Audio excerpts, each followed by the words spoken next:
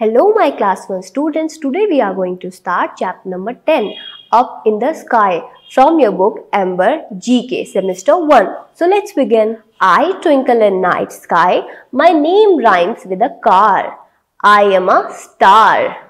You can see me at night. My name rhymes with a spoon. I am the moon.